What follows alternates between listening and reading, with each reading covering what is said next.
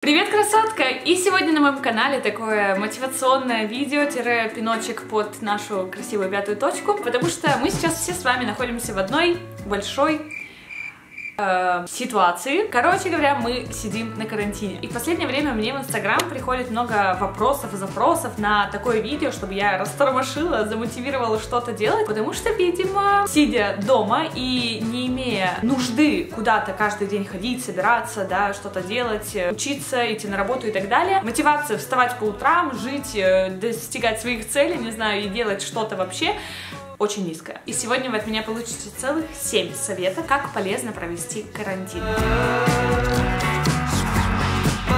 Первое и чуть ли не самое определяющее и самое важное в этом списке это иметь режим. Звучит очень скучно, и в принципе режим мы воспринимаем еще с детства, мне кажется, как что-то такое, да, ну серьезно, вставать в одно и то же время, ложиться в одно и то же время. Да, именно так. И это чуть ли не самый определяющий фактор продуктивного дня и чувство удовлетворения за сегодняшний день, чувство удовлетворения собой. Я тоже попадала в такую уловку, когда я ушла на заочное обучение. У меня не было нужды больше вставать каждый день в 7 утра, с утра накраситься, собраться, быстро сделать там завтрак и куда-то пойти. И первое время я вот такая на эйфории думала, классно, никакого режима, буду вставать, когда хочу, есть, когда хочу, делать ДЗ, когда хочу. Сейчас днем они на лекциях, на парах, а я сижу дома и принимаю душ и пою в этот момент. Окей, это, конечно, все очень классно, но через некоторое время, через очень скорое время я поняла, что это просто снежный ком, это омут, который тебя затягивает, потому что от отсутствия понимания того, что у тебя будет прямо вот сейчас, через час, в течение дня, что тебе нужно сделать, твой мозг очень сильно расслабляется, и тебе одновременно не хочется делать ничего. И ты впадаешь в некое такое состояние вареной картошки, кошки, которая хоть чуть-чуть захочет есть, оно сразу же идет есть. Вроде поел, надо посмотреть сериальчик, а вроде сериальчик-то посмотрел, серия закончилась там вторая, третья, а тут уже проголодался. И, наверное, именно поэтому мне приходит очень много вопросов о том, как провести карантин. Если не полезно, то хотя бы не деградируя, что ли, какие-то, может быть, правила для меня я выработала сама. Я бы вам посоветовала в одно и то же время завтракать, в одно и то же время обедать, чтобы прямо было понимание, что вот сейчас ты позавтракал, у тебя на это время уделено, ты не торопишься никуда, да, но потом, допустим, три часа у тебя выделено время на учебу или там на саморазвитие, и ты посвящаешь именно это время себе. Потом строго, например, в 2 часа у тебя обед, значит, ты идешь и обедаешь. А не так, что что-то там в течение дня вот так вот расплывчато, непонятно как, и вроде тут поел, там поел 85 раз за день, подошел к холодильнику, параллельно что-то там в кровати ты делал, какие-то дела. Ну, в общем, это все очень сильно расслабляет. И один из самых важных, конечно, пунктов в этом пункте это иметь список дел на завтрашний день. Это вообще чуть ли не самое главное, что тебя может мотивировать встать с осознанием осознанием того, что ты хочешь начать этот день, того, что тебя ждут э, классные какие-то дела. Обязательно, чтобы в списке ваших дел было то, что вам нравится. То есть, если у вас там стоит математика, физика, химия, русский и так далее, это как бы не очень мотивирует. Поставьте хотя бы одну задачу, которая вам будет нравиться, которая вас будет мотивировать, вдохновлять на следующий день. Это очень важно. А еще лучше, помимо планирования одного дня, планировать сразу же неделю, ну хотя бы примерно. То есть,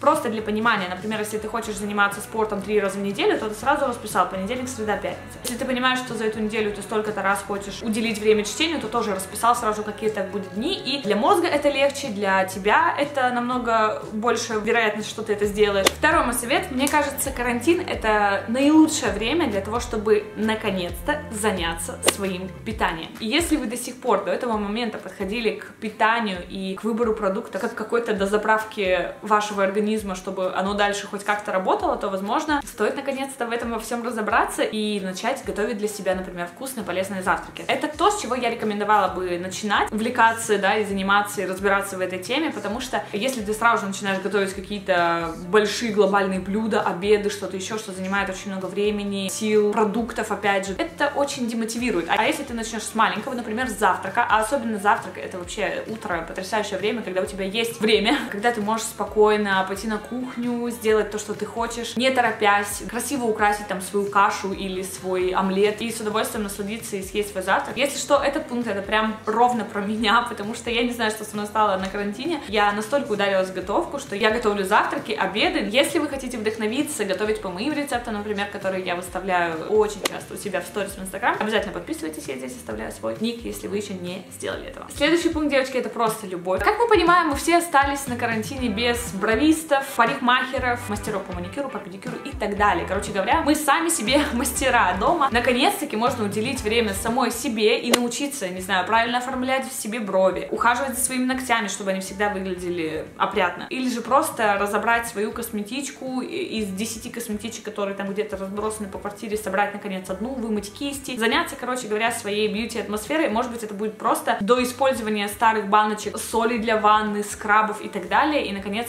уделить себе время, релакснуть. Если раньше у вас не хватало на это времени, то сейчас, мне кажется, грех не воспользоваться такой возможностью. И пару вечерков в неделю посвящать только себе, уединяться в ванной, брать с собой книжечку, чаек. Мне кажется, кто-то сегодня именно так проведет свой вечер. Идем дальше, и за следующий пункт меня поблагодарят ваши родители, потому что они будут очень рады, что я вам посоветую. Это, это уборка, девочки. Мне кажется, я прибрала уже все в нашей квартире, начиная от гардероба до аптечки, коробок в кладовке, Евиной одежды, всего-всего. Вообще, очищение пространства, особенно весной, это для меня must-have, наверное, обязательный просто пункт каждый год. Это сразу же очищает мысли. Порядок в вещах равно порядок в голове. Если постоянно глаза видят какой-то бардак, хаос, все лежит не на своих местах, то наш мозг тратит очень много энергии на то, чтобы это все анализировать, замечать, каждый раз думать о том, что так, это надо убрать, это надо прибрать, в итоге ты этого не делаешь, и только одними своими мыслями ты тратишь очень много энергии. Короче говоря, уборка это классно, я вам очень советую начать, неважно с чего, но главное, не ставьте себе цели, не знаю, прибрать всю квартиру, вымыть окна, плинтусы и покрасить двери, все, что вы не делали в своей жизни, именно сделать сейчас, потому что очень часто наш перфекционизм делает абсолютно обратную вещь. Наш мозг понимает, что так, слишком много дел, слишком много задач, и появляется просто какое-то бессилие и нежелание делать ничего. Поэтому каждый день, но помаленьку, вы помните, да, это намного лучше, чем один раз, но сделать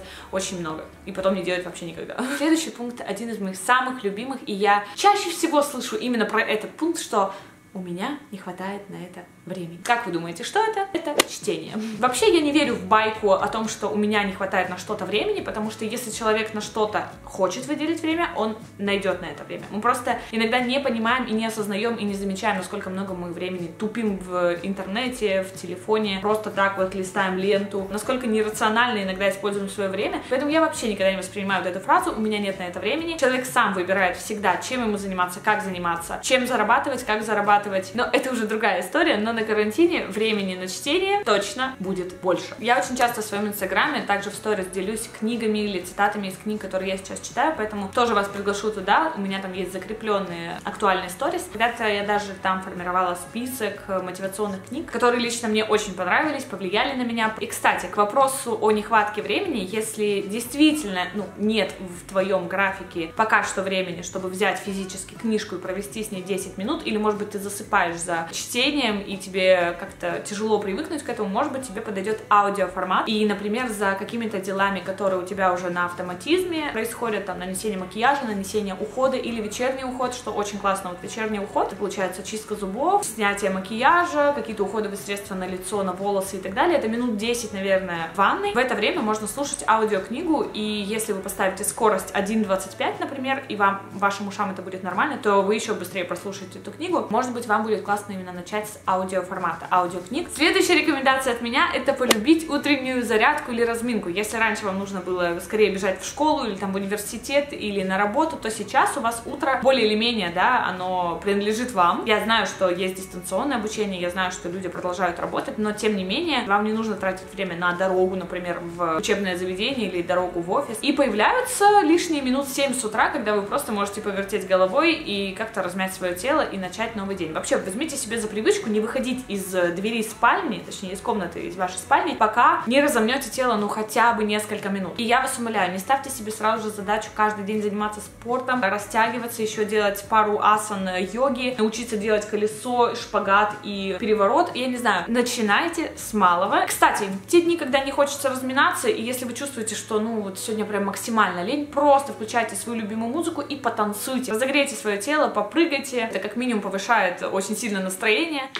Нужно попить водички перед важным пунктом, потому что последний пункт но не по значению, ушла куда-то вниз, будет очень важно. Я порекомендую вам, наконец-таки, начать проводить время наедине с собой и кайфовать от этого времени. Почему-то в нашем обществе до сих пор не принято делать уборку в своей голове, а это чуть ли не самое важное, что ты можешь сделать для себя, и более того, бесплатно, абсолютно. Мы прибираемся в шкафах, в вещах, на кухне, моем посуду и так далее, но в нашей голове мы не делаем уборку почти никогда, только когда мысли, там, не знаю, доведут до какой-нибудь депрессухи, и тебе уже надо будет кому кому-то выплакаться, высказаться, или это будет все перелито в обиду и в злость, в какое-то состояние напряжения, тревожности. Я всегда за профилактику, поэтому если есть такая возможность, а она есть у всех, проводить некоторое время в тишине, то есть наедине с собой, это могут быть медитация, заполнение дневника, мысли, да, за сегодняшний день, благодарности сегодняшнему дню, письмо себе в будущее, составление карты желаний, определение целей, того, чего ты хочешь в жизни, куда ты хочешь поехать, кем ты себя видишь, осознать, э, чем тебе нравится заниматься, откликается ли это с тем, что происходит сейчас в твоей жизни. Я не знаю, столько вопросов, столько идей, столько тем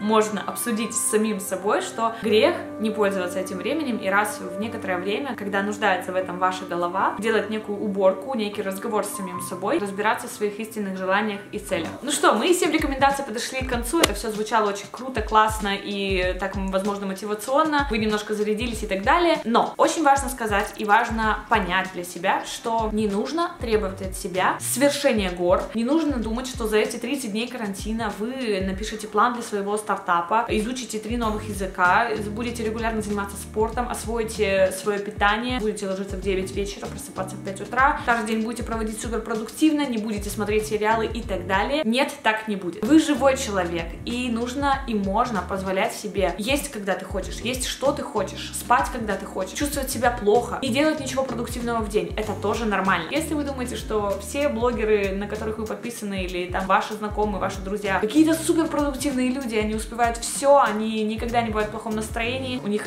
идеально абсолютно все, то это не так. Ни у кого ничего не бывает идеально. И не нужно от себя требовать очень многого, потому что за этим многим, за этими ожиданиями может скрываться очень печальная реальность. Это вот к вопросу о том, когда ты настроил себе кучу-кучу планов, а в итоге потом просто чувствуешь себя каким-то вареным, абсолютно не замотивированным на весь этот план, он просто как бы вот отдельно написан, и ты такой отдельно. И понимаешь, что очень много впереди, и у тебя просто физически не хватает на это сил. Это на самом деле я говорю и самой себе сейчас, потому что у меня тоже бывают такие вот закидоны, что я слишком мало успела за день, да, всего лишь что там, и начинается. Дважды закинула стирку, развесила белье, приготовила завтрак, приготовила обед, смонтировала видео, написала пост, выставила сторис, погуляла с Евой, и знаете, вот куча всего набирается, просто нужно иногда не строить, повторюсь, э, нереальных каких-то ожиданий, и даже если вы просто какой-то один день проведете в сериалах на кровати с попкорном или с бутербродами, это тоже ок, не нужно себя за это винить и корить. Этим самокопанием вы сделаете только еще хуже. Лучше уж насладитесь этими бутербродами вдоволь, этим сериалом, и в следующий день начните более продуктивно, если получится. Вроде все сказала. Получилось. Я очень надеюсь, полезное, интересное для вас видео. Напишите обязательно в комментариях, как вы проводите свой карантин, как вы себя чувствуете, что думаете по этому поводу. В общем, давайте общаться внизу. Ну а я не заканчиваю вас радовать. Нет. Почта России до сих пор работает, поэтому конкурсы у Сашки на канале продолжаются. И в этом видео я разыгрываю целый набор уходовой косметики для твоей кожи от Ифраше. В составе будет аж 7 продуктов. И чтобы поучаствовать в конкурсе, тебе нужно подписаться на мой инстаграм, подписаться на мой канал и написать комментарий под этим видео обязательно с ником твоего инстаграм, чтобы я с тобой связалась. Ну, я вас, красотки, удаленно, дистанционно обнимаю, целую и желаю приятного карантина. Не грустите, не печальтесь, это все пройдет, будет все хорошо. Ищите в любой ситуации по возможности плюсы и грустите, когда вам хочется грустить, это тоже нормально, мы все живые. А, ну и конечно же, смотрите мои предыдущие видео. Где-то здесь всплывут сейчас иконочки с моими предыдущими видео, где-то будет иконочка подписаться, возможно, вот здесь вот. Я вас очень сильно люблю. Пока.